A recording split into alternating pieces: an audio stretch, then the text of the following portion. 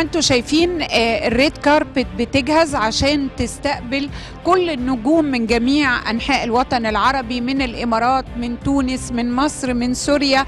من الكويت كل النجوم بتجتمع هنا في أرض الكويت اللي بتحتضن كل الشعوب العربية وتحتفل ب 41 عام من المهنية والتميز للأنباء الكويتية. السنة اللي فاتت كنا مع أحلى النجوم اللي أنتم شايفينهم كنا مع كل النجوم العربية اللي موجودة اللي حضرت عشان تقول مبروك للأنباء الكويتية والسنة اللي فاتت كالعيد الأربعين. السنة دي نجوم جداد وحب جديد ولقاء جديد على أرض الكويت.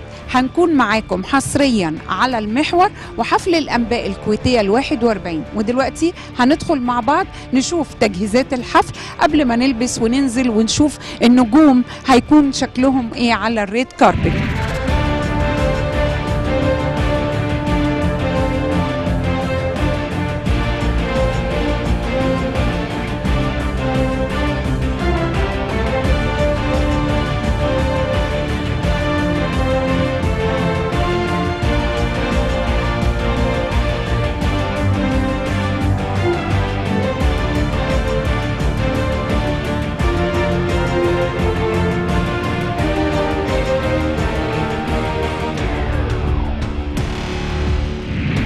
الريد كاربت ودلوقتي هنشوف كل النجوم بتجتمع على أرض الكويت حبا في جريدة الأنباء الكويتية اللي بتجمعنا كلنا من الإمارات ومصر وتونس والمغرب وسوريا والكويت. الكل بيجتمع في حب لجريدة مهنية متميزة جريدة الأنباء الكويتية في عيدها الواحد وأربعين حصري على المحور.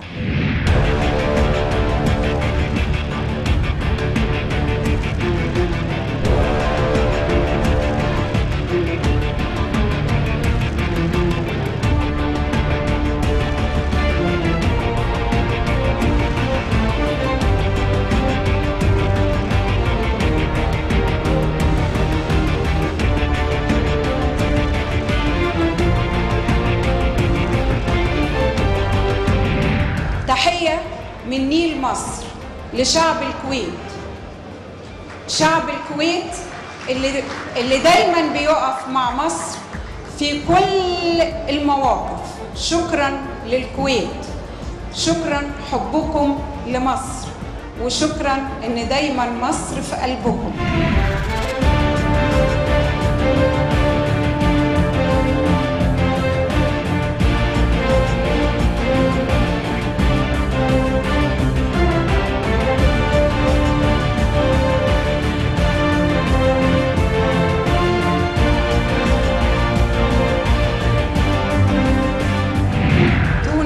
الخضراء ومصر قلب واحد شعب واحد. وأنا بعتبرها مصر وتونس. مش هقدر أنسبها لتونس بس لأنها أجمل رسالة جاءت للفن المصري والعربي من تونس. هي ه هدية الملامح. نون نادرة في فنها. دال دؤوبة في خطواتها.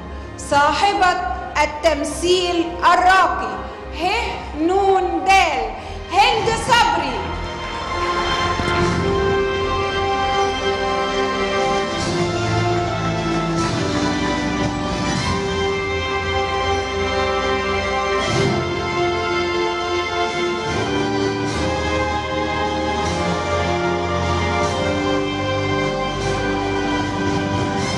تحية للنجمة المصرية التونسية العربية هند صبري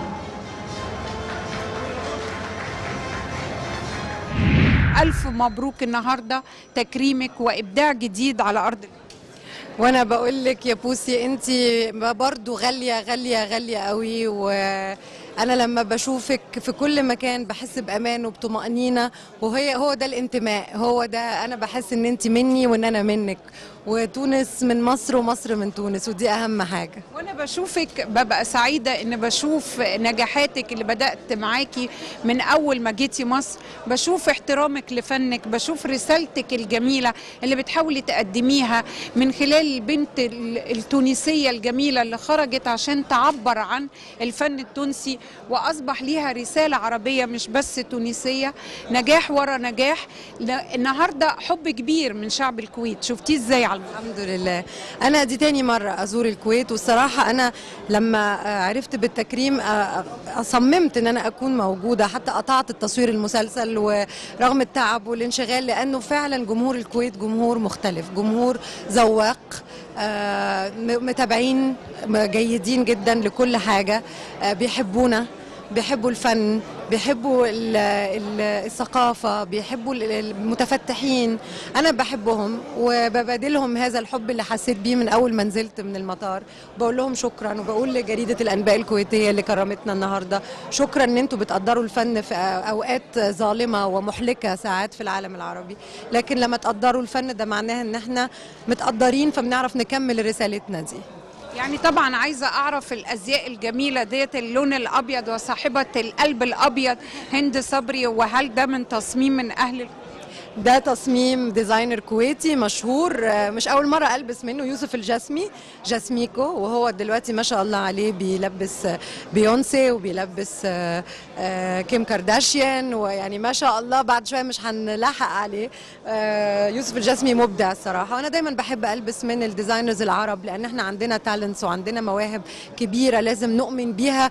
قبل ما الغرب ياخدها مننا ويؤمنوا بيها هم. ف آه، بس النهارده يوسف الجسمي وال make up وشعر كمان من أهل الكويت فبقول لهم شكرا. وطبعا ال stylist بتاعتي إيمان الخميسي اللي بتعاون معاها دلوقتي بقى لنا سنتين مع يعني كل حاجة صنع في الكويت النهارده. إيمان تونسية. إيمان ال stylist بتاعتي تونسية. لكن ال make up والشعر ولا صنع صنع في الكويت.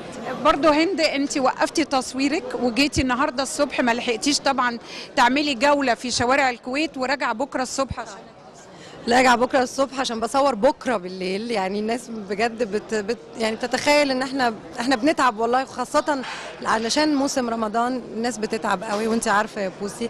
فادعوا لنا ان إحنا نقدم لكم آه، آه، مسلسل في رمضان يكون يليق بيكم ويليق بالجمهور العربي كله وان شاء الله يعجبكم ان شاء الله. عايزين نعرف بقى المسلسل الجديد وإحنا بنشتاق لك في رمضان وانت طبعا بقيتي من أهم آه، المسلسلات ونجوم رمضان اللي بننتظرهم. آه، مسلسل اسمه حلاوة الدنيا وهو زي ما اسمه بيقول كده مسلسل متفائل لأنه طل- طلع إشاعات إنه نكد. لا هو مش نكد خالص. آه، مش كوميدي برضو مسلسل اجتماعي. آه، في صراحة كاست أنا سعيدة جدا إن أنا وسطهم. آه، من أنوشكا لمدام رجاء الجداوي حبيبة قلبي للأستاذ الكبير مصطفى فهمي لحنان مطاوع حبيبتي الممثلة الجميلة القوية. لأحمد حاتم لظافر العابدين طبعا اللي معانا هاني عادل. فكاست ما شاء الله الحمد لله. أنا حاسة إن أنا مع كاست قوي. هنقدم حاجة اجتماعية سلسة شبه كل الناس. فيها حاجات حزينة وفيها حاجات مش حزينة وعشان كده سمينا المسلسل حلاوة الدنيا. هو تأليف آه، سما أحمد وانجي القاسم اللي هم ورشة تامر حبيب وإشراف تامر حبيب وإخراج حسين المنباوي وإنتاج بي لينك آه، للإنتاج اللي عمله السنة اللي فاتت جراند اوتيل مشيش ومحمد مشيش وج- وجمال سنان. يعني آه، أنا عارفة أيضا إن في عمل مهم جدا في السينما مع شريف عرفة وأنت وشريف عرفة بتبدعوا مع بعض يعني. فعايزة أعرف آه، نوعية الشخصية إمتى هينزل العمل خلص ولا لسه؟ بتصور عايزة أقول لك بقى مش مرعوبة عادي من الفيلم ده. الفيلم اسمه الكنز. وهو فيلم الناس سمعت عنه كتير. يمكن علشان تواجد آه، نجوم كتير آه، محمد رمضان ومحمد سعد وهيثم أحمد زكي وروبي وسوسن بدر وأمينة خليل. يعني ما شاء الله. وهاني عادل برضو والأستاذ عبد العزيز مخيون ناس كتير. آه، فيلم صعب لأنه آه، ما أقدرش طبعا أتكلم عنه لأن الأستاذ شريف عرف أنت عارفة ممكن يموتنا. هو طبعا مانع دائما دايما دايما إن الإعلام يعرف حاجة عن أفلامه. فللأسف كان نفسي أقول لك أكتر من كده لكن أقدر أقوله إن هو فيلم تاريخي يعني في تاريخ في زمن تاني في ملحمة كبيرة. الفيلم إن شاء الله إن شاء الله هينزل على مش هيلحق عيد صغير يمكن إن شاء الله نلحق العيد الكبير إن شاء الله بإذن الله. شايفة هند يعني في رونقها وشايفة السنة دي سنة السينما والتلفزيون سنة التكريمات والجوائز. بتتمني إيه تاني من السنة دي؟ إيه اللي نفسك تقدميه؟ أه تصدقي أه سؤال مهم. أه أتمنى أعمل مسرح. تصدقي بقى إن أنا نفسي أجرب المسرح؟ أتمنى أعمل مسرح. ما عملتيش مسرح؟ لا ما عملتش مسرح قبل كده وحاسة إن أنا ابتديت أبقى تشتاقي. أشتاق ليه. لأن دي الحاجة اللي, ب... اللي فاضلة لما عملتيها بالظبط. عملتي سينما وتلفزيون و... آه. وعملتي إذاعة وعملت إذاعة. فاضل لي المسرح فيا رب يمكن 2017 ما عملتيش أي مسرح حتى في تونس ما عملتي؟ لا عملت مسرحية واحدة هنا في مصر آه، لكن ما اتصورتش للأسف. كان مع الأستاذ صلاح عبد الله ومع أحمد رزق وكان إخراج الأستاذ الكبير جلال الشرقاوي آه، لكن للأسف ما اتصورتش فيمكن ناس كتير ما تعرفش عنها لكن نفسي أشتغل تاني مسرح. إن شاء الله الكتاب ومنتجين المسرح عايزين نكسب هند صبري على خشبة المسرح لأنها ممثلة قوية وأعتقد هتضيف والمسرح هيضيف ليها كمان كتير. هند كل الحب كل التقدير آه، كل النجاح. وهكون معاكي إن شاء الله بعد المسلسل بجائزه أحسن ممثلة هتاخديها السنة دي تلفزيونيا وسينمائيا على مدار السنة بعد عرض الفيلم والمسلسل.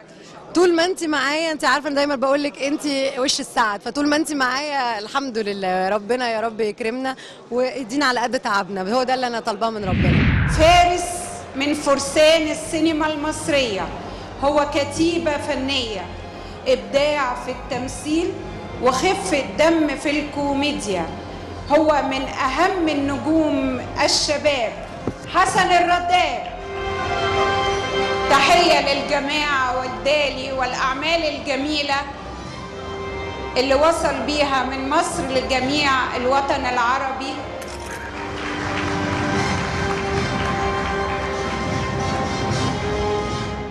النجم حسن الرداد بقول لك منور الكويت وألف مبروك التكريم وحب كبير من الشعب الكويتي لحسن الله يبارك فيك يا بوسي ودايما بقول لك نفس الكلمة إن أنت دايما موجودة بترتبطي بكل المناسبات الكويسة أو الأحداث السعيدة اللي بتحصل للواحد. أنا آه، مبسوط جدا إن أنا موجود النهارده. و... و... وشعب الكويت من ال... من الشعوب الحمد لله ليها فيها جمهور كبير ودايما ببقى التواصل معاهم على طول. وأفلام اللي بعملها دايما بتتعرض في الكويت وب ب... بت... يعني بيحصل لها نجاح وبتقعد كتير في السينما عندهم الحمد لله. فأنا ب... ب... بتفائل بيهم جدا.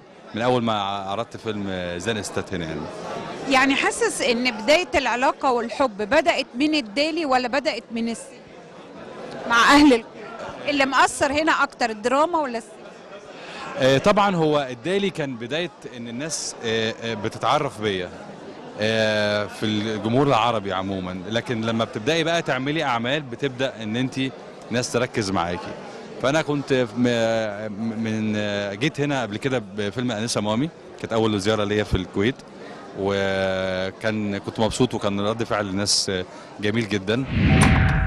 لا لا عامله لك مفاجأة وأنا كمان. الله يعينك لقيت شغل.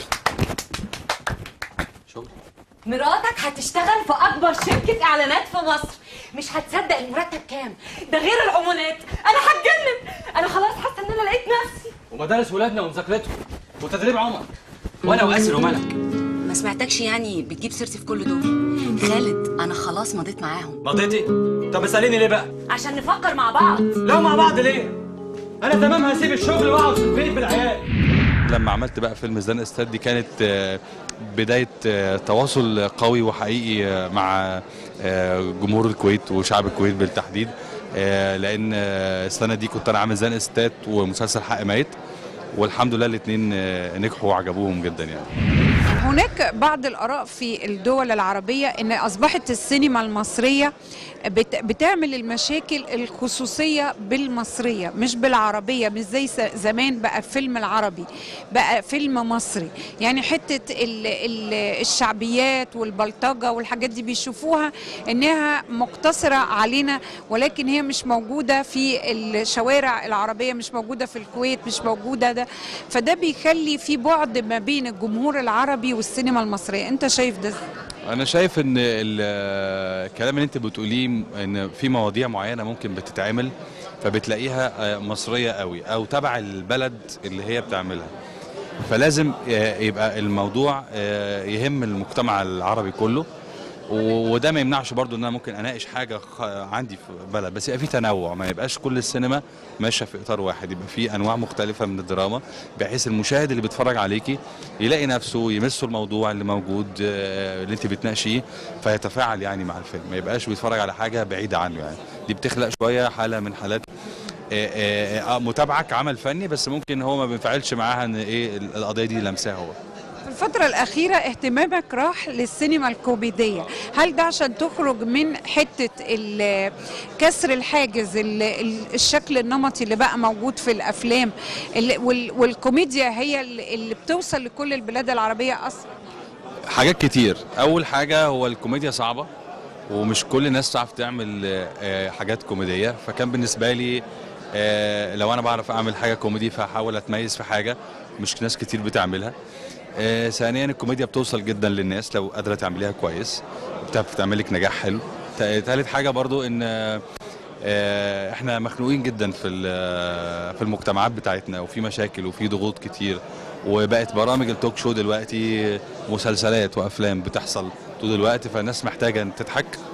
فده اللي وأنا بحب الضحك عموما. فده اللي خلاني آه، أتجه شوية الفترة الأخيرة لأفلام كوميدية. بس بعمل موازنة إن تلاقي مسلسلات دايما أنا بعملها مسلسلات جد. هنا فبعمل تمثيل وهنا آه آه فبتلاقيني دايما في نفس السنة بعمل النوعين من الدراما دراما الكوميدية ودراما التراجيديا لكن آه في الفترة الجاية إن شاء الله يبقى عندي أفلام مختلفة مش كوميدي يعني. الدراما بقى اللي أنت وقفت المسلسل النهارده وراجع بكرة على طول جاي علشان يعني أنت وهند جيتوا الصبح وراجعين تاني يوم الصبح بس للحفل دي حقيقة. طبعا أنت عارفة الفترة دي فترة مضغوطة جدا عشان رمضان وبيبقى التصوير فيها كل يوم ومفيش وقفات خالص. فبعمل مسلسل اسمه نوح. وتأليف الأستاذ أيمن سلامة وإخراج الأستاذ محمد علي. ويعني دراما اجتماعية حلوة إن شاء الله تعجب كل الجمهور في الوطن العربي كله يعني. هيلحق رمضان ولا ده لبعد رمضان لا رمضان إن شاء الله. هو آه، طبعا إحنا بنسابق الزمن والوقت ضيق جدا بس ده اللي بقى بقينا متعودين عليه يعني. إمتى هتبقى بابا حسن؟ آه يا رب ما تعرفيش بقى يا رب. يعني عايزين نعرف أنا أول واحدة بشرت بالجواز وعايزة أبشر بالمولود الجديد. آه الحلقة بتاعتك دي حلقة شهيرة يا بوسي. يعني أنا حلقتي بعدها أنا وأنا والحاج أحمد السبكي إحنا اللي أعلنا خبر ال ال إن هيبقى في جواز وأنا دلوقتي عايزة أعلن إن في إحنا مش توقعنا إحنا كنا يعني عايزين ده يحصل والحمد لله وإحنا دلوقتي عايزين نشوف بابا حسن وماما إن شاء الله إن شاء الله. دي حاجة بتاعت ربنا طبعا وإن شاء الله لما ربنا يعني ي- يأذن هي إن شاء الله يعني يبقى في أطفال. هو لسه هو عموما في أخبار ب ب ب مكتوبة إن أنا إن في ان إن في أب. لسه بصراحة. بيبي جاي وإن أنت أب. آه، يعني لسه بصراحة. أخبار كاذبة ولا نص نص ولا؟ أخبار كاذبة أخبار كاذبة بس هي يعني بش أنا عموما وأنا في شهر العسل والناس بت- بتبارك لي على ال على الخلفه من يا جماعة عرفتوا منين؟ أنا ما أعرفش يعني.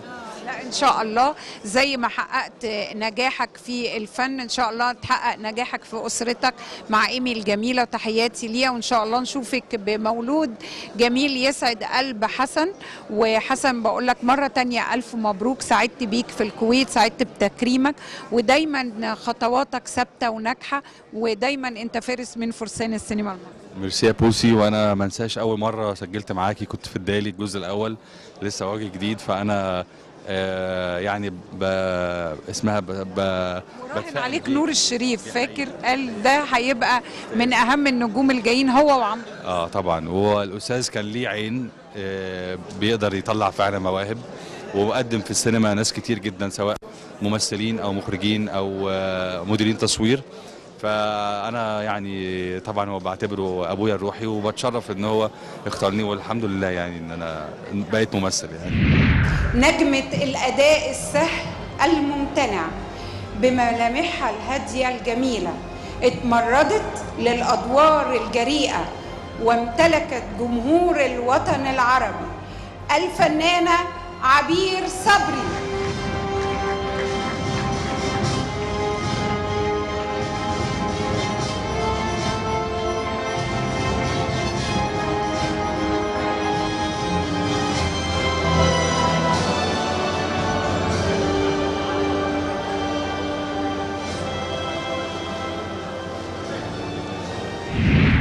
النهارده آه، الساعة 12 آه، هنطفي شمع تعبير صبري ونقول لها كل سنة وهي طيبة عيد ميلادها. هي برج الحوت 14 مارس. وطبعا آه، بداية آه، عام جديد وبيبقى كل الواحد عنده طاقة إيجابية خصوصا برج الحوت بيبقى منتظر السنة الجديدة بمفاجآتها بأملها. شايفاها؟ بصي أنا السنة دي تفائلت قوي بوجودي في الكويت بلد بزورها لأول مرة وكنت بتمنى كتير قوي إن أنا آجي الكويت. فيمكن ده عامل لي حالة إنه اكتشاف بلد جديدة في يوم عيد ميلادي. آه، سنة جديدة تبقى حلوة كلها خير وكلها نجاح وصحة أهم حاجة طبعا. وعندي أحلام كتير يا رب يحقق لي يعني يحقق لي كلها أكيد. قولي لي قولي لي أمنية عشان أما أقابلك السنة الجاية أشوفها اتحققت ولا لأ. آه عايزة أعمل آه شغل كويس في رمضان السنة دي و... ويبقى خطوة جديدة وحلوة بالنسبة لي أكتر. وبحضر مسلسل بعد رمضان آه تجربة مهمة برضو أنا بحضرها من على الورق. إن شاء الله أتمنى تكمل. وحاجات كتير يعني بس أغلبها يمكن في الشغل يعني أكتر حاجة. مش عايزة عريس كده وجواز واستقرار وطفل جميل. إن شاء الله بإذن الله إن شاء الله. أنا هتمنى لك البيت والاستقرار والعريس وأنت تمنيتي ال- النجومية والشغل والأدوار الحلوة. هنتقابل إن شاء الله مارس اللي جاي وأعرف إيه اللي اتحقق. أمنيتي ولا أمنيتك؟ يا بوسي صح صح. آه تخيلي آه. هنشوف مين فينا اللي اللي, اللي, قصدك في في الدعاء. عجبتني عجبتني. يعني ربنا كريم يدينا كل حاجة إن شاء الله. تحققوا الاثنين يمكن 2016 آه، أنا واحدة من برج الحوت بشوفها أسوأ عام بالنسبة لي. ولكن عبير بالنسبة لها 2016 وهي برج الحوت عشان كده بنقول كذب المنجمون ولو صدفوا إن هي من أحسن السنين بالنسبة لها. عملت مسلسل مكسر الدنيا أعلى نسبة مشاهدة في الوطن العربي مكرمينها النهارده علشان النجاح اللي معمول في الكويت عليه آه، نسوان قادره ستات قادرة. هنا في الكويت بيقولوا لك نسوان قادرة ستات قادرة ستات قادرة ومسلسل دور جديد دور مختلف عن عبير صبري. أيضا كان السينما في آه، آه، مباراة بينها وبين غادة عبد الرازق كبيرة جدا وحققت آه، فوز في المباراة. دي عبير صبري اللي اختشوا ماتوا. فأنا بشوف إن 2016 وفي مسلسل جديد كمان داخلاه بشوف إن هي 2016 بالنسبة لي كانت خلاصة النجاح.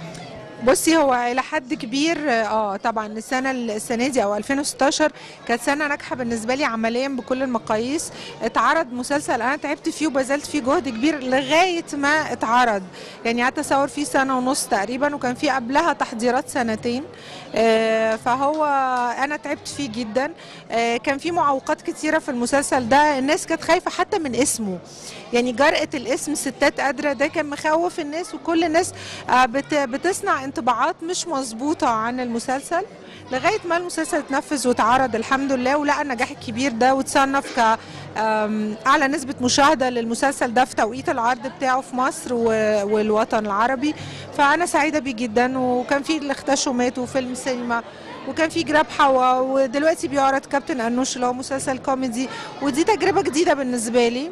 ناس كتير خوفتني قالت لي مفيش داعي تعملي كوميدي. وانت لسه عاملة مسلسل دراما مكسر الدنيا.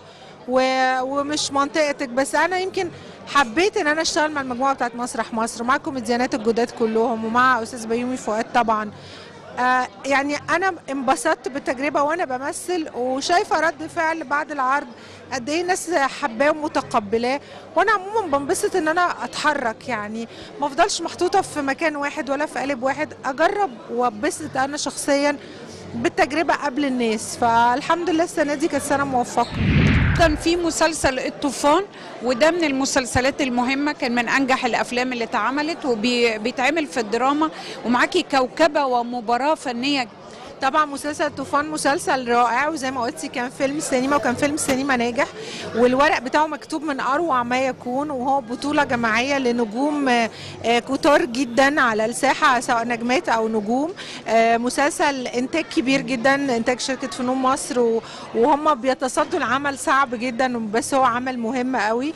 في حاجات إنسانية مهمة وفي في حاجات كتير حلوة وإخراج أستاذ خيري بشارة اللي أنا في منتهى السعادة إن أنا بجد بشتغل معاه لأنه تكنيك تاني خالص آه، آه، أخلاقيات معاملة آه، يعني الس... كأن المسلسل ده هدية من ربنا. أنا يعني كل ما بدخل لوكيشن الطوفان أقعد أقول لأستاذ خيري يعني إحنا في هدية من السما ان إحنا بنشتغل معاك. بيستفزك ان انت تشتغلي مع نجمات في عمل واحد يعني انت وغادة وروجينا انت ووفاء عامر هنا وروجينا انت ونجلاء بدري وريهام سعيد يعني ده بيستفز. بصي يعني أنا أكيد ما يعني على الأقل مش بيضايقني إن أنا أشتغل وسط نجمات آه لأن في ناس ما بتحبش ده بس أنا بحب ما عنديش مشكلة. وبيخليني يمكن زي ما تقولي بت بتحفزي أقصى طاقات عندك. التكريم يا عبير والنهاردة آه، بره بلدك بقى. تكريم من من ناس تانية ناس جديدة مجتمع جديد ثقافات جديدة شايفة؟ بصي أنا بتبسط وبتخض في نفس الوقت لأنه بحس إنه نجاحك بدأ يبقى مش بس في بلدك وإنه الناس بس بتعرفك بس في بلدك لا الوطن العربي كله بي- بيشوفك والخليج تحديدا بيشوفك وده منطقة مهمة جدا في المشاهدة لانهم عندهم دراما جميلة جدا وعندهم دراما حلوة. آه ومشاهد متذوق لأنه عنده آه سماوات مفتوحة على قنوات كتيرة جدا سواء عربية أو أجنبية. وبالتالي هو بيعرف يفرز الجيد من الرديء. فلما بيجي لك تكريم في بلد عربي آه، بلد مهمة زي الكويت مهمة في الخليج بتقولي ده مسؤولية زيادة بقى. يعني مسؤولية زيادة وأنا واضح إن شغلي واصل للناس والناس بدأت تقيمه بشكل إيجابي فلازم أحافظ على ده وأعلى step بعديه كمان يعني. ما تبقاش خلاص تقفي عند هنا وتسكتي لا بتقعدي تفكري أكتر. نجاح بي- بيحط عليكي مسؤوليات أكتر. هل اتأخرت نجوميتك يعني؟ مش عايزة أفكر كده يعني أم، مش عايزة أفكر بالطريقة دي. أنا بجتهد بعمل اللي عليا وربنا بيوفقني واللي, ربنا بيبعته لي أنا موافقة عليه ومبسوطة بيه. ودايما أعرفي إنه بتاخدي حاجة وحاجة بتنقص. فأنا دايما أقول يا رب أنا مش عايزة زيادة بس مش عايزة أنقص. فانا مبسوطة الحمد لله. يكفي إنه لما بيذكر اسمي بيبقى بيتقال إن أنا ممثلة كويسة إن أنا بختار أعمال حلوة إن أنا بنجح بالتراكم. كل خطوة بعملها بنجح أكتر. فأنا ده بيسعدني يعني. وبحس في الآخر إنه النجومية المطلقة اللي هي عند يعني عند أعلى القمة هي هي مكان حاد. مكان حاد وصعب. إيه، إنك تفضلي فوقيه صعب إنك تنزلي منه صعب. ف... فربنا يختار لي المكان المناسب ليا وأنا راضية بيه. المرأة السورية القوية الصامدة في ظل كل الظروف أبدعت وقدمت رسالة فنية في كل المهرجانات العربية والعالمية وقالت الفن السوري بخير. وسوريا بخير. نجمة سوريا الفنانة سلافة وخرجي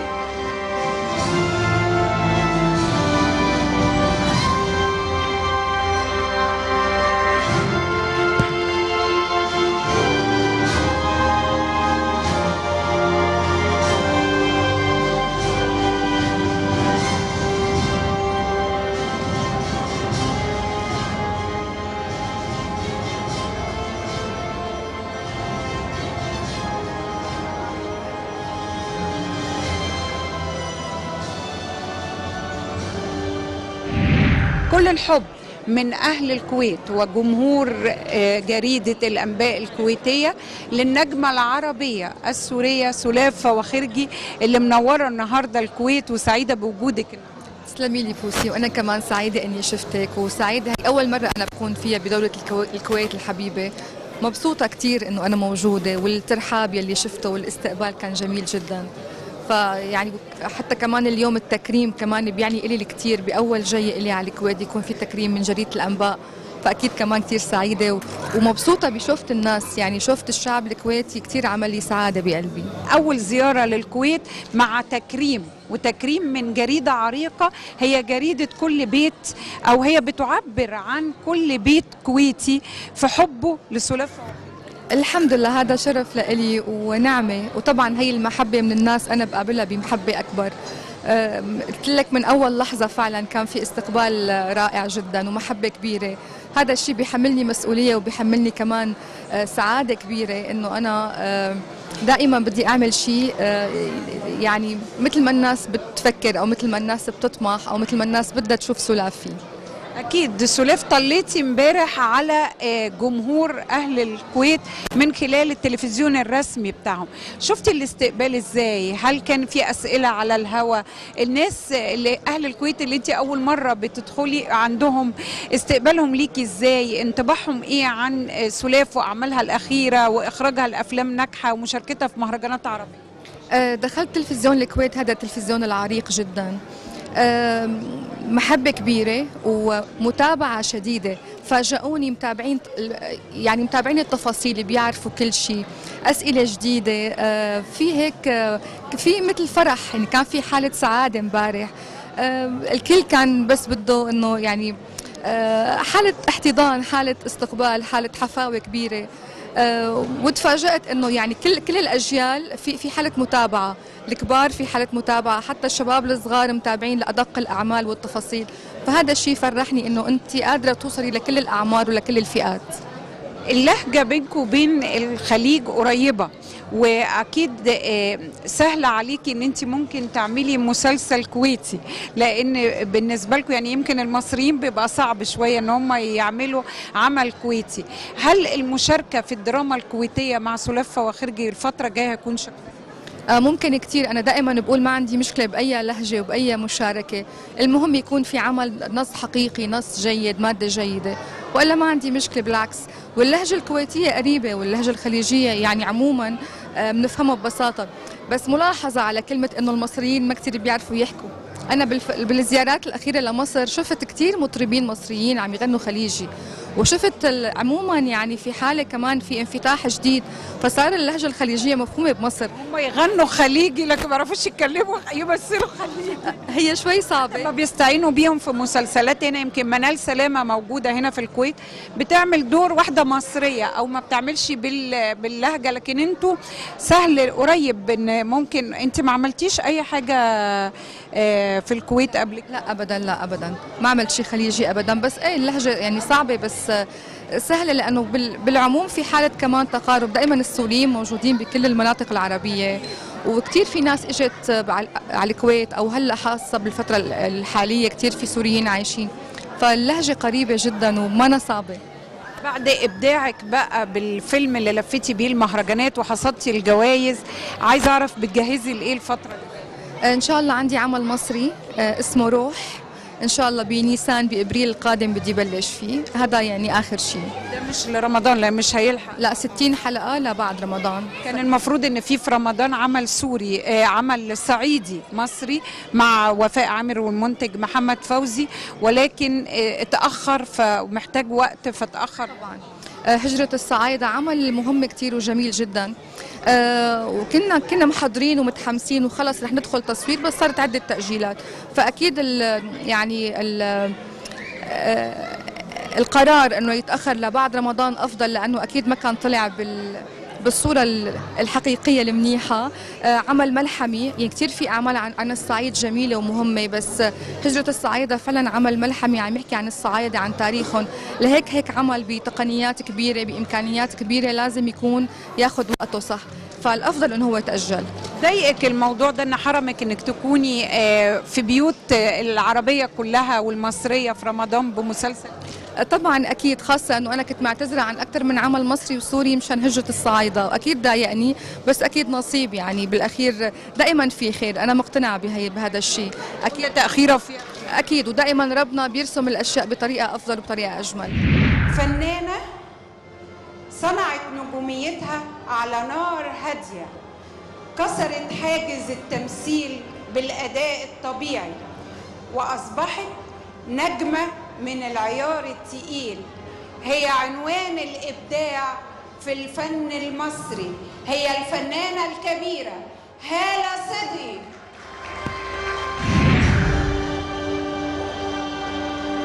والنجمة الجميلة هالة صدقي اللي مشرفانا النهاردة وحمد لله على السلامة وألف مبروك الله يبارك فيك يا بوسي ودايما مع بعض في نجاحات وجوائز وتكريمات إن شاء الله. يعني أنا كده بقول إن ونوس اقتحم العالم العربي كله. ونوس حصد أكبر كم جوائز يمكن مكتبة هالة صدقي مليانة بجوائز ونوس يمكن أكتر كمان من السنة اللي فاتت. آه، لا هو حارة اليهود آه، يعني آه دلوقتي ابتدى ونوس يعلى عن جوائز حارة اليهود فعلا. ما قدمتك في المقدمة النهاردة وقلت إن آه، هالة صدقي بتشتغل على نار هادية واخدة النجاح آه، و- و- وبتعرف إمتى تغير أو تعمل آه، نقلة في آه، آه، شكل الأدوار اللي بتقدمها. ويمكن أنت كنت من زمان وأنا فاكرة ده لما كانوا يسألوكي نفسك تبقي مين لما تكبري كنت تقولي لهم هدى سلطان. تغيير الجلد والفكر والآخر دقيقة بشتغل زي آه، يعني هدى سلطان بالنسبة لي يا بوسي كانت ال- المثل لأنه أنا بشوف إن ال- الفنانات أو النجوم الكبار إن هم بيوصلوا لسن معين وبيختفوا وما بيعرفوش يكونوا متصالحين مع نفسهم وما بيعرفوش يتخطوا مرحلة سنية معينة آه، وما بيعرفوش يغيروا جل- جلدهم. فدي كانت حاجة بتؤرقني جدا. و و و وأنا كنت عارفة اللي هو عمال بيفرك يعني. لا أنا متضايقة ومش مبسوطة لغاية ما جالي فعلا دور حارة اليهود واتخضيت منه في الأول بس حسيت إن هو ده البداية. ولما جالي ونوس يمكن أنت بحكم إنك صديقتي إنك أنت كنت أنا ما كنتش فرحانة بنجاح ونوس يعني الدنيا كلها كانت بتتكلم عن دوري وعن وعن أدائي. ما كنتش فرحانة لأنه الخوف من جوايا كان أكتر من فرحتي إنه طب أنا هيجي لي إيه بعد ونوس آه، آه، لأن هي برضو هي حتة الحظ بتلعب فيها آه، إيه اللي هيجي لك؟ وهتختاري إيه؟ ممكن تختاري عمل وبعد كده ترتبطي بيه يجي لك عمل تاني هو ده. فاللي عارفة آه، آه، ال ال ال الإنسان أو الفنان بيبقى بحالة تخبط نفسي غير عادي النجم الكبير عادل إمام وحلم كل نجمة إنها تقف قدامه ويبقى في السي في بتاعها عمل مع عادل إمام ويبقى في مباراة فنية لأن عادل إمام بيستفز كل النجوم اللي معاه عايزين كل واحد يظهر أجمل مم. آه، عادل إمام آه، صديق جميل ونجم كبير وهو عارف ده فمن أول يوم هو بيمتص القلق ده. وقبل التصوير بيبقى فيه أعداد كتير فبنبقى داخلين البلاتو وإحنا ال- الدنيا آه، باينة. آه، وبعدين عايزه أقول لك إن هو اتدخل آه، قوي في في الشكل بتاعي. وكل الملاحظات اللي قالها لي كانت صح قوي. حاجات مثلا أنا لما بنفعل ممكن صوتي بيسرسع. ما حدش يعرف القصة دي إلا أنا. يعني أنا عارفة إنه أنا لما بنفعل أو بتاع تلاقي آه تلاقي في عجدل كده طلع. فهو قال لي أنت عندك الصوت خلي بالك احكمي الصوت. حاجات تاتشات صغيرة الفنان اللي هو عارفها عارفة؟ فهو فنان جميل وبالعكس ما خوفنيش ولا حاجة. آه، كان لطيف جدا إلى أقصى درجة يا بوسي. عنك خفة الدم معروف عن عادل إمام خفة الدم. المواقف الكوميدية بقى اللي بتجمع بينكم هل بيسيب هالة صدقي لتلقائيتها وإبداعاتها وقفشاتها السريعة وليدة اللحظة؟ آه لا إحنا ملتزمين بالنص قوي. والحقيقة إن يوسف معاطي آه آه مش مدي فرصة ولا كلمة خالص إنك أنت ممكن آه تقولي أي حاجة زيادة. يعني أي إفيه معمول ومكتوب ومحسوب والكتابة من كتر ما هي حلوة مش مديني فرصة إن أنا وقلت لده ليوسف معاطي قلت له أنت أول مسلسل في حياتي آه، ما يدي يعني ما يدينيش مساحة إن أنا أقول هنا أعمل كذا. ولكن آه، في طبعا آه، بعض ال- ال- ال- الحركات أو بعض الحاجات اللي طبعا يعني وقعت الاستوديو يعني بس مش عايزة بقى لغاية ما تشوفوها إن شاء الله. أكيد هنشوف عمل جميل وكانت أيضا من المفاجآت هذا العام إنها هالة صديقتي بقت منافسة ليا مذيعة وبتقدم برنامج أسبوعي وبيجي لها تليفونات وبتتعامل مع القضايا المهمة وأصبحت واحدة من أهم المذيعات على الساحة العربية. يعني هالة إحنا هناكل عيش منين؟ وهنستضيف مين؟ لما كلكم هتبس هتبقوا مذيعين. إحنا هنعمل إيه لا يعني إيه هو أنا طبعا هي تجربة جديدة واتعلمت منك يا بوس بوس. إيه لا هو يعني حسيت إنه آه، ممكن يبقى في بعض القضايا آه، آه، المهمة اللي في بعض الأحيان لازم يبقى في ممثل أو ممثلة تبقى موجودة علشان تحط الضوء عليها. يعني مثلا ال- ال- الحلقة اللي أنا رجعت بيها كانت حاجة خاصة بالرحمة وهي رحمة التعامل مع الحيوانات. هي ممكن تبقى قضية عابرة لو أي مذيعة عملتها لكن لما يكون فنانة هيبقى يعني هيبقى في ستريس أكتر إن أنا أسمعها أو أشوفها. فأنا عايزة أستغل وجودي إنه ما بقاش أنا زي أي مذيعة. انت ما هو أنتوا جايبيني ليه؟ أكيد جايبيني علشان أبقى مميزة. فيا رب ربنا يسهل ويعني أنجح في القصة دي لأنها بجد صعبة مش سهلة بجد عايزه أعرف العلاقة بينك وبين الصحافة شكلها إيه؟ آه، زمان طبعا وأنا صغيرة كانت في حرب كتيرة بيني وبين الصحافة آه، لأني ما كنتش عارفة أتعامل مع الناس قوي آه، لكن في في حصل يعني حصل طفرة جيدة في الصحافة المصرية. يعني الصحف الصفراء آه، ابتدى الناس يبعدوا عنها وابتدوا يكرهوها وابتدوا ينبذوها. هم بنفسهم اللي ابتدوا ي... فطبعا آه، بقت تقول الأخبار الصادقة والحقيقية. كلمة منك لأهل الكويت أنا لكم معزة خاصة جدا جدا جدا في قلبي. و... وأول تكريمات في حياتي كانت في الكويت. و... وأصحابي وأهلي من الكويت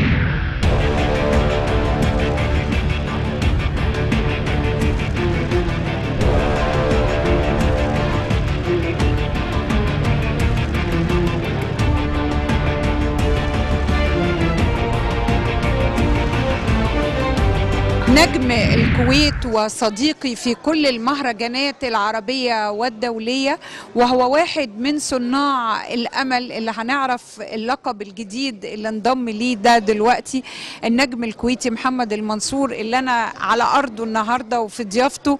وسعيدة إن إحنا بنلف اللف ونرجع بقى نتقابل في بلدك. يا أهلا وسهلا منورين. والبلد بلدكم. يا أهلا وسهلا فيكم وبعيوننا نحطكم.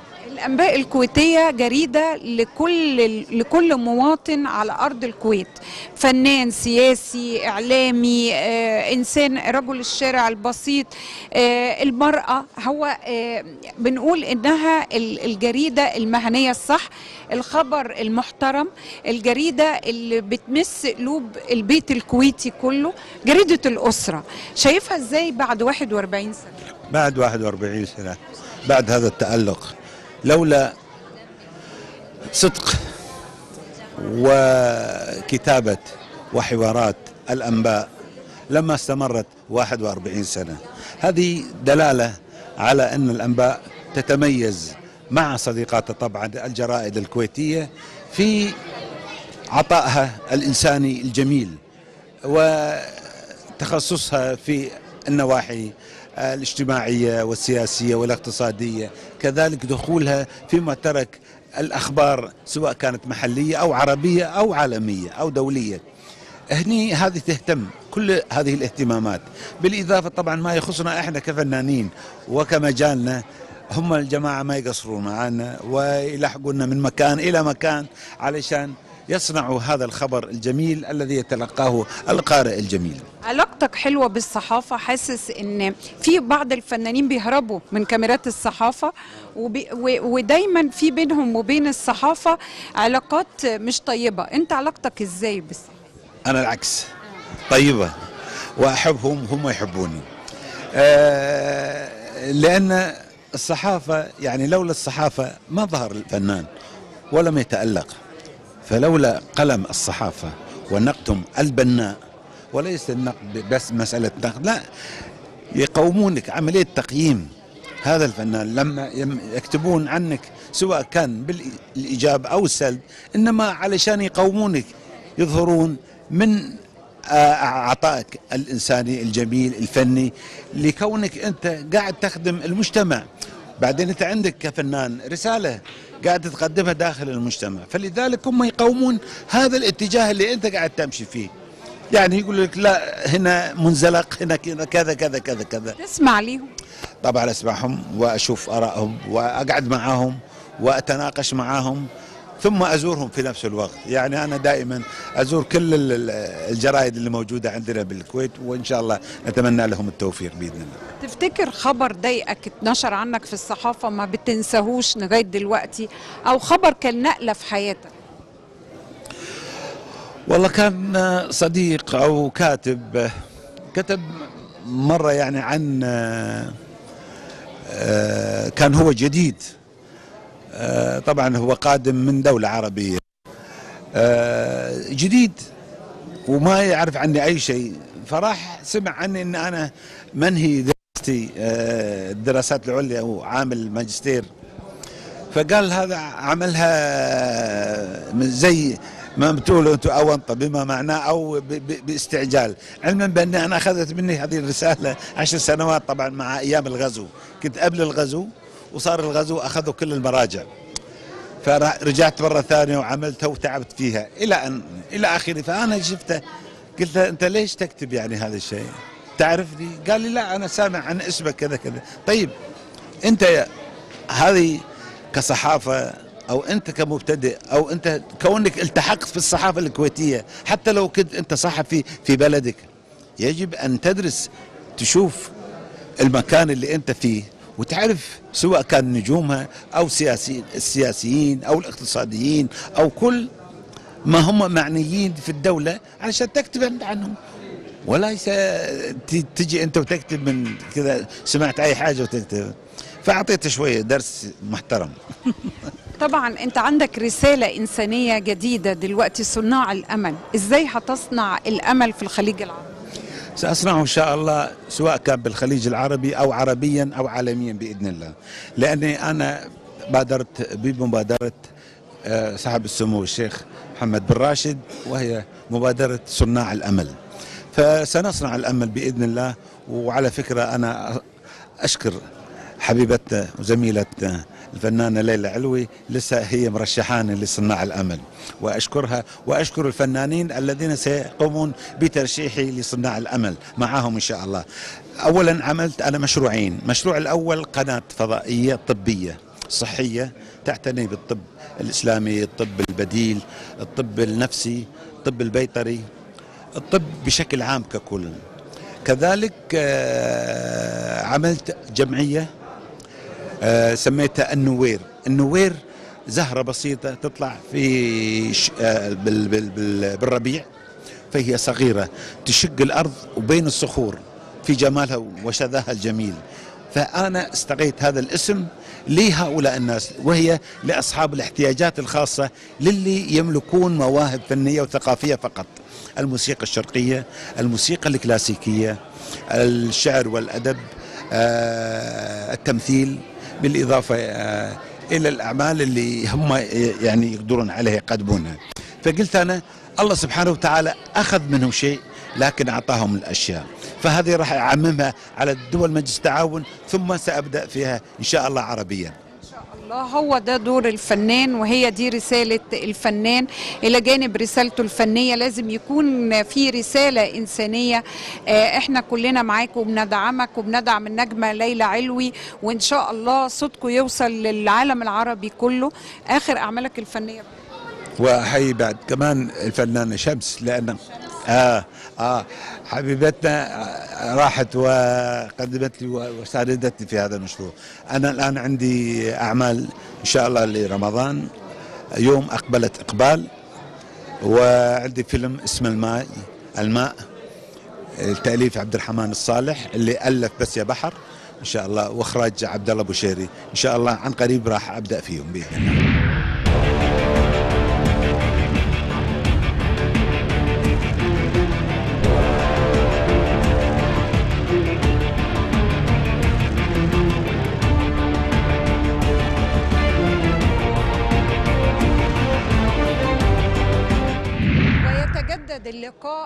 من السنة اللي فاتت للسنة دي على الريد كاربت ولقاء أنا بحس إن لقاء من القلب. لأن هي من أغلى الناس عندي في الكويت وأنا بسعد لما باجي الكويت وأقابلها وأشوفها وأشوفها سفيرة لسياحة الكويت وأشوفها سفيرة أيضا لمصر وسياحة مصر ودعم مصر. فأنا بعتبرها مصرية كويتية عربية مثال للمرأة الحديدية القوية المحبة لبلدها وال- ول- وللمرأة. يعني بالخصوص فجر السعيد أنا مش عايزة أقول إن انت كويتية بس لأن إحنا بنع- بنعتبرك واحدة مننا. فرحتك بكل حاجة حلوة لمصر بنحس إنك بتفرحي معانا وبتزعلي معانا وعارفة حاجات كتير في مصر إحنا ما نعرفهاش. فأنا سعيدة إن النهارده معاكي في الكويت وخصوصا مع جريدة الأنباء.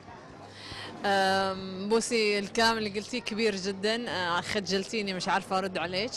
بس أنا سعيدة طبعا بوجودكم. أه، انت والمجموعة كلها أي أحد من نجوم مصر يجي الكويت لا تصورين حجم سعادتي في وجودكم حجم سعادتي إن أنتم مشاركينا في بلدنا. آه، لذلك تلاقيني أبي أخليكم تشوفون أكثر كم من الأماكن من الكويت. أفرح لما تقولون الكويت جميلة. الكويت جميلة بوجودكم محبتكم آه، الكويت هي شقيقه صغرى حق مصر أنتم أهلنا وناسنا وتواجدكم معنا يسعدنا.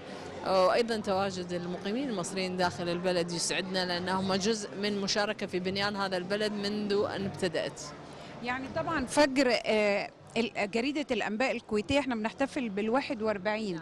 مهنية آه، آه، صدق تميز آه، سرعة في الخبر. انت شايفة الجريدة دي إزاي؟ وشايفة أهميتها بالنسبة للمواطن الكويتي إيه؟ طبعا جريدة الأنباء من الجرايد ال- حقيقة قريبة لقلبي وقلب كل الكويتيين لأنها هي جريدة عندها مصداقية عالية. يعني بخلاف الآخرين يمكن الأنباء من الجرايد النادرة اللي ما عندها أجندة خاصة. هي أجندتها الوطن وأجندتها الخبر الصحيح. لذلك هي متميزة لذلك هي مستمرة. أهنيهم في العيد الواحد وأربعين وأهني نفسي إن, إن أنا قاعدة أشوف هذا الصرح الإعلامي الكبير قاعد يستمر كل هالسنين.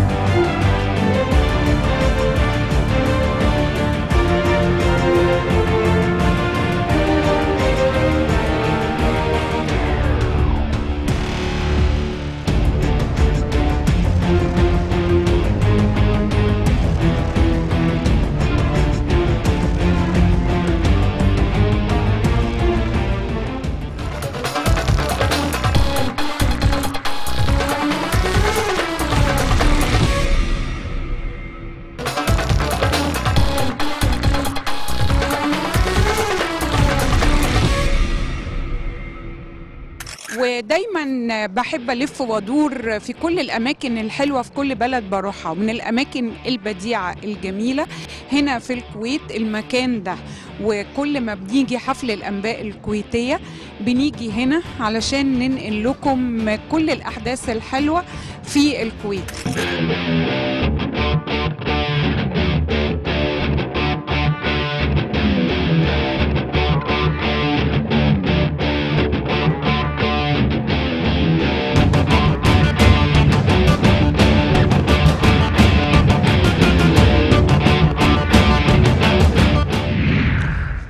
وطبعا اللي معروف عن كرم أهل الكويت والجدعنة كلها حبيبتي فجر عزمتنا على الفطار لأن طبعا أنتوا عارفين عبير ما تقدرش تتكلم غير ما تفطر وتاكل. وأنا قلت لكم إن عبير من زمن الفن الجميل اللي هي عايزة تقعد وتفطر الفطار ال... ال...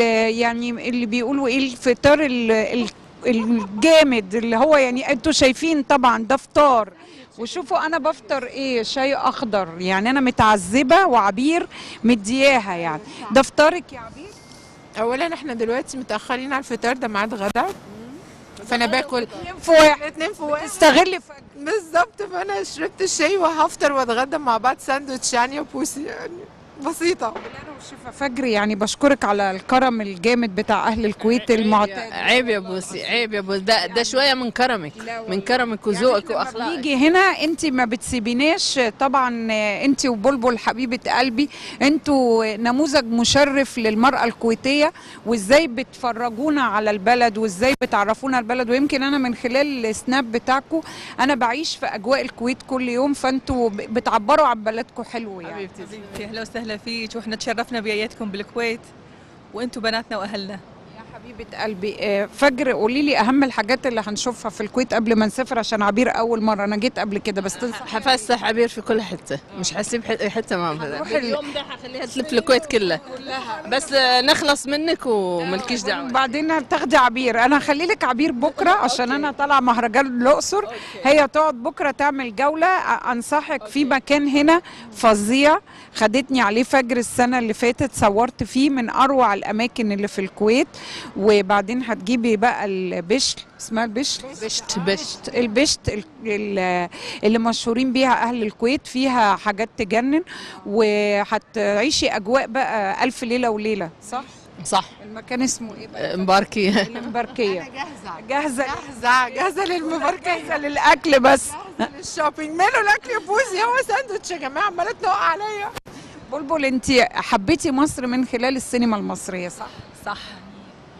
شايفة السينما المصرية دلوقتي الجيل الجديد ممكن يبقى برضو مرتبط بمصر زي أنتوا كنتوا مرتبطين بالأفلام الأبيض وأسود وفاتن حمامة وشادية و...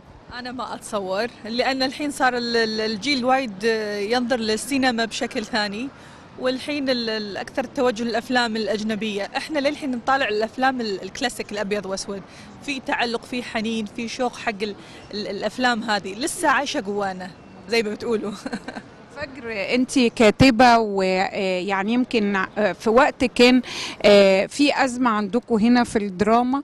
فجر نزلت عملت مسلسلات أحيت بيها الدراما الكويتية. إزاي تقولي لنا إن إحنا نخلي ال- السينما ترجع تاني في قلوب كل العالم العربي؟ وزي ما أنتوا كنتوا بتنزلوا تروحي بورسعيد اللي شفتيها في الأفلام. شوفي أنا أقول ليش. السينما في زمان في مصر كانت تخاطب جميع المجتمعات جميعها. المشكلة اللي تطرحها تطرحها بحيث إن الكل عارفها. يعني أنا عايشتها اللي في شمال أفريقيا عايشة. دلوقتي مؤخرا الأفلام المصرية بدت لوكالي زيادة عن اللزوم. حتى الافيه أنا ما أضحك. أنا أشوف السينما تضحك بس أنا ما أفهم لها هي لغة الشارع المصرية لأن المنتج في مصر بدأ يبحث عن الانكم داخل السينما في مصر. مش بيبحث على ان انه يقدم صناعة والصناعة تنتشر. وأنا أتصور إن الدولة في مصر يجب أن ترجع تعيد دورها القديم في إنها تعمل أفلام اللي هي مش أفلام مات مهرجانات أنا ما أتكلم عن فيلم مهرجان بس فيلم مثل الأفلام السابقة اللي هي فيلم آه، يحاكي جميع المجتمعات بس بلكنة مصرية. آه، أحس في المشكلة بكل مكان ما يروح باللوكل زياده عن اللزوم. انت متكلمين عني أنا في الكويت أنا عملت نفس الخطوة. طلعت برا من اللوكل زيادة عن اللزوم الكويتي وبديت أفتح موضوع أفضل بديت أشرك معي فنانين من الخليج وبدا يصير خليجي أكثر من إنه كويتي ولا زال مستمر حتى الآن. هذا بسبب متابعتي. دي المشكلة حاليا في الدراما ال- في ال في الفن الفن المصري. حتى الأغاني يعني حتى باستثناء عمرو أديب عمرو دياب أنا آسفة باستثناء أغلب المطربين شعبي لوكالي يعني راحوا لللوكالي. م- عمرو الوحيد اللي موسيقته تنسمع في كل دول العالم. أم كلثوم على فكرة شوفي ال- ال- المفردات اللي كانت اختارتها حتى المصري اختار مفردات الخفيفة اللي تنسمع في كل مكان.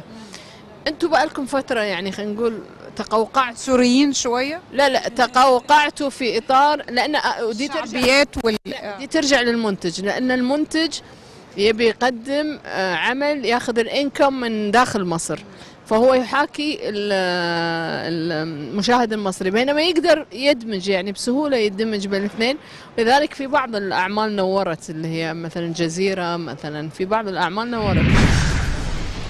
ما ينفعش توجع يا منصور. بس أنا طول عمري وأنا بحبك إيه ده؟ دي هدية يا باشا. إيه أنت هتسلم نفسك ولا إيه؟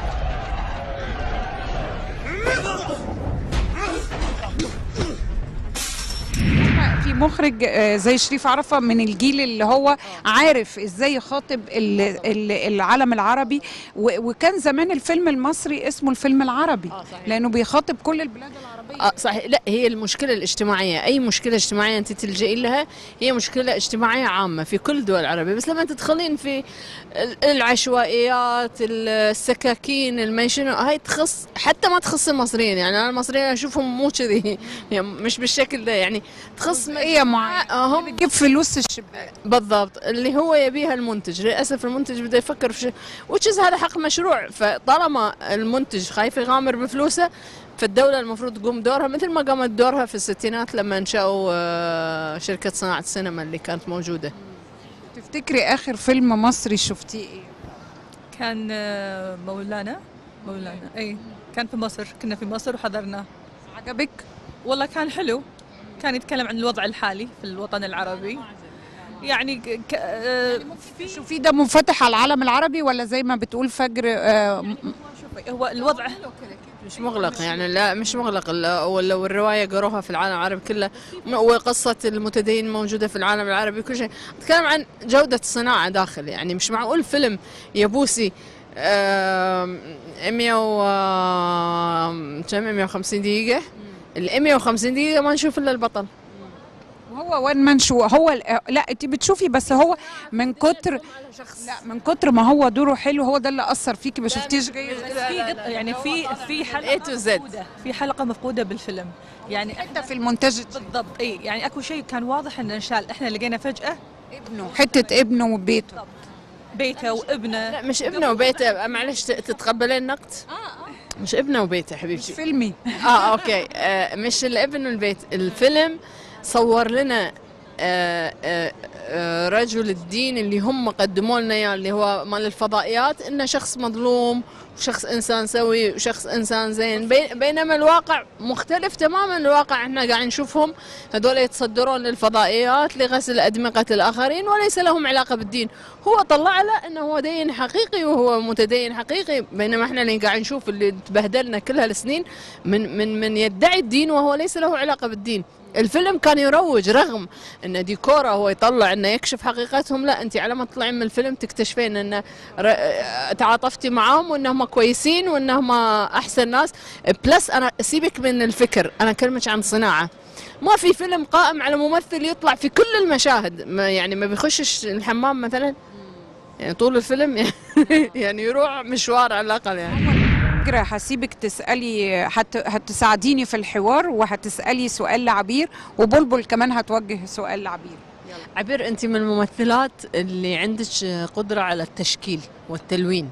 يعني في بالذات يعني الجيل اللي بعدكم طلع كلهم آه، خط واحد. كل واحدة نفس ال- نفس الأداء. انت يمكن من المتميزات اللي قادرة تت- تتلونين يعني تعطين أي لون. آه، هل اللي قاعدة.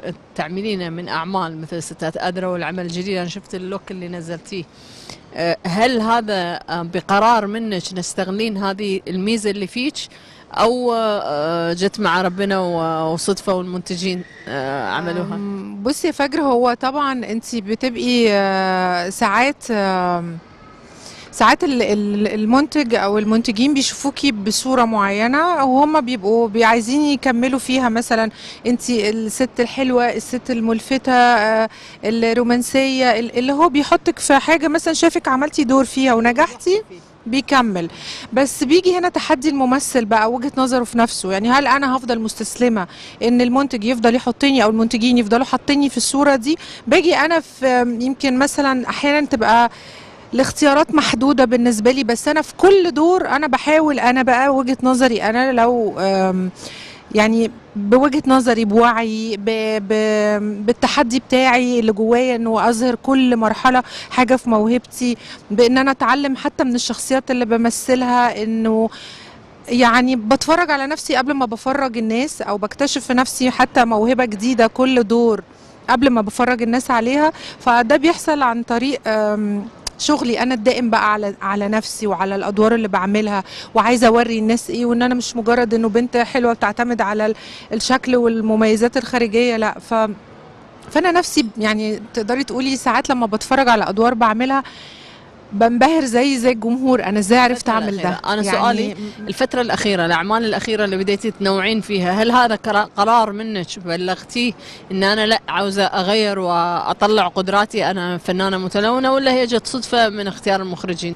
بالعكس هم المخرجين بيبقوا يعني ساعات لما بيبعتوا لك أدوار بيبقوا شبه الأدوار اللي عملتيها. لكن انت من خلال الدور تقدري تعمليه بشكل مختلف. يعني هو بيبقى جاي عايز الدور زي ما شافك عاملاه في حاجة تانية. انت بتغيري لأنه كل شخص في الآخر يحمل بصمة مختلفة. فانت تقدري حتى مثلا لو هتعملي ست حلوة ست جريئة ست رومانسية أو whatever الشخصية تقدري من خلالها جواها تنوعي تاني يعني ما تفضليش نفس النمط. أنا بالنسبة لي أنا واخدة قرار إن أنا طول الوقت لازم أغير يعني خلاص خلصت الفترة بتاعت إنك تتحطي في نمط. لازم كل شوية تعملي حاجة تانية جديدة تدهشي بيها يعني الناس ونفسك وبتكتشفي نفسك كل دور يعني فلا أنا أنا مش مستسلمة يعني أنا مش مستسلمة لفكرة إن الناس تفضل حطاني في نمط. بالعكس أنا بدا يتقال لي إيه ده شفنا الدور ده انت عملتي كده إزاي؟ يعني بدأ الناس نفسها المنتجين يقولوا لي كده إيه ده انت عملتي كذا؟ هم كأنهم مندهشين. بس لأنه أنت ما عندكش استعداد تغامر وتغير. يعني هم زي خمسة ستة بيلعبوا الخمس ست أدوار هم هم في نفس الأعمال. فلا أنا أنا واعيه لده إن أنا أعمل تغيير يعني. عبير صبري الوحيدة اللي مثلت مع آه، نجوم آه، مثيرين للجدل والمشاكل. ورغم هذا سلكتي مع كلهم وانت الوحيدة اللي قدرتي تمثلين مع كل النجوم اللي عليهم جدل وعليهم مشاكل. شلون قدرتي؟ ده سؤال كل الناس إن اشمعنى انت اللي سالكة معاهم كلهم؟ والله ده سؤال عجبني قوي يا فجر بجد. بصي هو هو الإجابة خاصة بشخصيتي.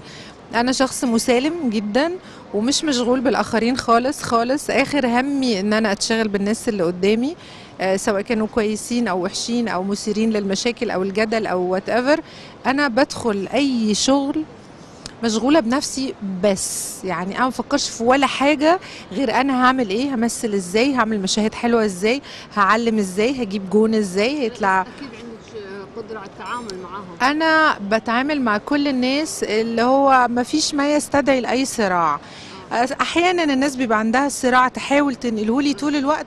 أنا بعمل حائط صد لا صراع معايا ويمكن هو ده ال system في شخصيتي حتى في الواقع. يعني في حياتي أنا الشخصية أنا لا صراع مع مع أي حد وأحيانا بحس إن الناس بتزقني أو بتفرض عليا إن أنا يعني أخش في دوشة في مشاكل. بس الحقيقة إنه أنا ممتنعة. بلبل تسألي عبير بقى وبما إنك أنت يا بلبل يعني عايشة في الوسط الفني المصري ده من من يوم ما اتولدتي وأنت عايشة جوه الوسط. صح صح. آه عبير صبري تميزتي إن أنت تتشكلين. ليش قدرة عجيبة إن أنت تتشكلين بأدوار تتميزين فيها؟ آه أنا بالنسبة لي عبير صبري مع الشعر الأسود الطويل وطويلة فارعة فيعني حلو إن أنت تمثلين بالمسلسلات الخليجية. طبعا إحنا نتشرف. إنزين. فهل صارت لك محاولة أو انعرض عليك؟ وإذا انعرض؟ آه، أتمنى جدا جدا إن أنا أشتغل في عمل خليجي أو أشارك في عمل خليجي وأنا متابعة للدراما الخليجية في الفترة الأخيرة وشايفة التطورات ال- ال- المهمة جدا اللي حاصلة فيها. وبس أنا ما تعرضش عليا يعني يمكن ما شاء الله لأنه ممثلات الخليج قادرات على إن هم يعني يقوموا بكل الأدوار ال- ال- الحلوة في الأعمال الخليجية. لكن طبعا أتمنى وإذا تعرض عليا آه، هكون مبسوطة. وكمان يمكن أتعلم شوية آه، لهجة خليجية. يعني إن شاء الله بإذن الله.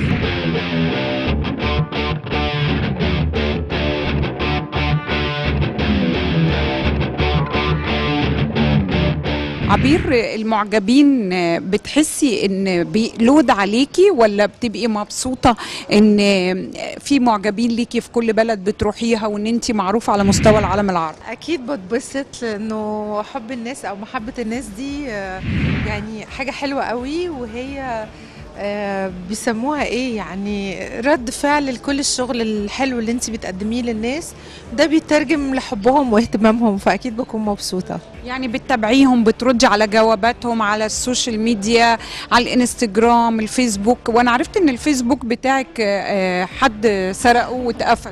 آه الفيسبوك بتاعي للأسف اتهاك واتقفل وبنحاول نرجعه. بس لا أنا بتواصل طبعا مع كل followers أو friends أو يعني كل الناس اللي بتتواصل معايا عن طريق السوشيال ميديا أكيد أنا برد عليهم و لا طبعا بالعكس أنا بحبهم لأنه بيبقوا مع الوقت ومع الإخلاص في إنهم يبعتوا لك ويكلموكي بتحسي إنهم فعلا بقوا أصدقاء ليكي.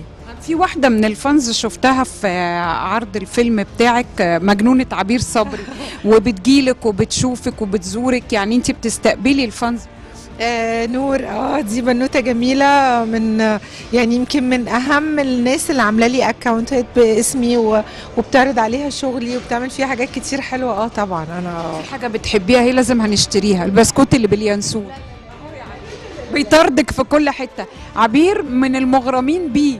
يعني عايز تجيب هدية لعبير يبقى هو البسكوت. لا طبعا مش أكيد مش دي الهدية المفضلة لعبير البنتلي البنتلي. طبعا. بس لا أنا فعلا بحب بسكوت اليانسون قوي شفتي؟ وراكي وراكي أهو. يبقى لازم هناخده. آه لا عشان نجرب بتاع ال... وده إيه ده؟ كنافة دي ولا إيه؟ آه دي مفتقة. عبير مش عايز تطخني مفتقة؟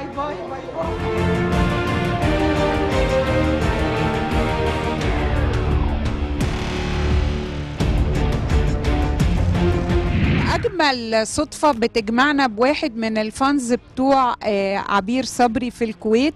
وحقق حلمك وقابل نجمك المفضل وإحنا النهارده هو عرف من آه، صفحة أحلى النجوم ومن الإنستجرام عندي إن عبير هنا موجودة في الأسواق الكويتية وجالنا. وأنا سعيدة بوجودك. أنا أسعد أنت من فانز عبير. فانز عبير جامد. عرفت عرفت من صفحة أحلى نجوم ولا من الانستجرام من صفحة أحلى نجوم ومن الإنستغرام كمان. وعارف الحملة بتاعتي اللي حقق حلمك وقابل نجمك؟ لا والله لسه.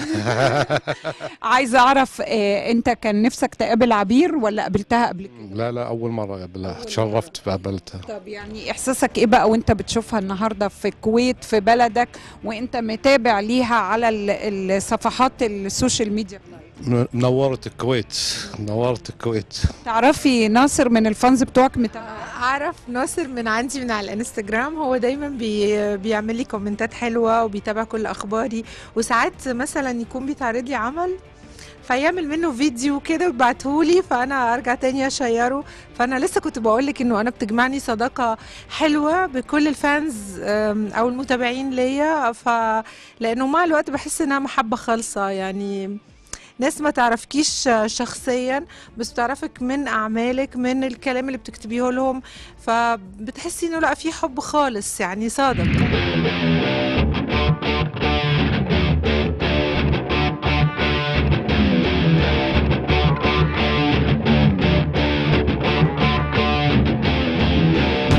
ها عايزة تبوظي الرجيم وعايزة تفطري إيه؟ الحلويات دي عشان أنا يعني ضعيفة جدا قدام السويت وقدام الحلويات الحلوة دي. أنا عايزة أعرف إزاي بتحافظي على آه، وزنك وإزاي انت محافظة كده وبتحبي الأكل وبتموتي فيه عبير؟ وعبير يعني من أكتر الناس اللي بتحب الأكل وأكتر واحدة ب يعني بشوفها اطبخ بتطبخ كويس جدا وبتاكل الأكل المصري الملوخية والفتة والرز المعمر يعني إزاي الوزن علشان يعني مثلا لما نفسي تروح إن أنا آكل الأكل ده أو أعمله بتبقى مرة بقى وبقيت الأسبوع حرمان يعني وخلاص ورياضة وأمشي كتير وكده فبحافظ. لكن طبعا مفيش أحلى من الأكل المصري يعني.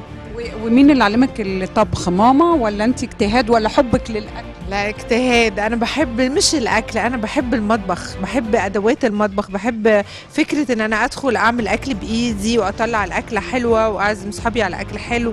يعني أنا بحب فكرة البيت تفاصيل البيت مش الأكل تحديدا فاهمة؟ لكن الم... يعني مثلا أنا ساعات أبقى مسافرة أعمل شوبينج حاجات مطبخ فاهمة؟ من كتر ما أنا بحب المطبخ.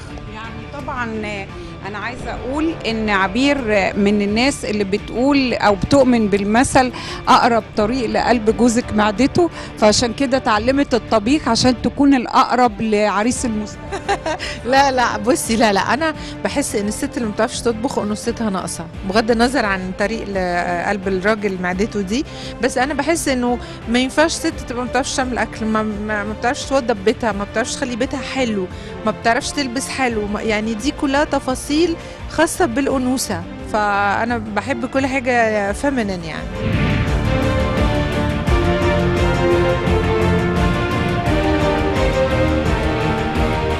دي أول زيارة ليا للكويت. أنا كنت آه، دايما أقول أنا زرت كل أماكن كتير قوي في الوطن العربي لكن الكويت أنا ما زرتهاش. آه، جت فرصة جميلة قوي إن أنا أجي أحضر الحفل 41 لجريدة الأنباء الكويتية وهتكرم فيها آه، عن ستات قادره مسلسلي ال- الحمد لله لقى نجاح كبير جدا في مصر وفي الوطن العربي. أنا موجودة النهارده في الكويت. مش عايزة أقول لكم أنا قد إيه مبسوطة. مبسوطة إنه بلد جديدة ومبسوطة كمان إنه زي ما بوسي قالت لكم إنه عيد ميلادي النهارده نفس اليوم اللي أنا وصلت فيه الكويت. آه، يا رب إن شاء الله تبقى سنة حلوة عليا بتمنى إن شاء الله. ومبسوطة إن أنا بتعرف على الكويت في وقت جميل زي ده في احتفالية حلوة. ويا رب أجي هنا تاني ومبسوطة قوي